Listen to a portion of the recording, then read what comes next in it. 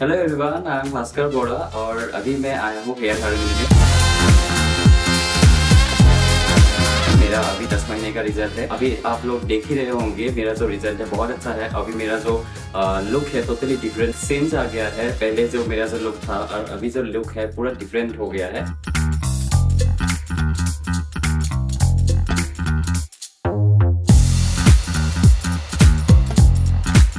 ना, एक लुक से एक पूरा कॉन्फिडेंस ही आ जाता है। हेयर हारमोनी तो मेरे लिए बहुत एक लाइफ चेंजिंग जैसा एक सिचुएशन उन्होंने क्रिएट कर दिया कि मैंने सोचा भी नहीं था कि एक हेयर का मेरा ऐसा ही मतलब लुक आ जाएगा।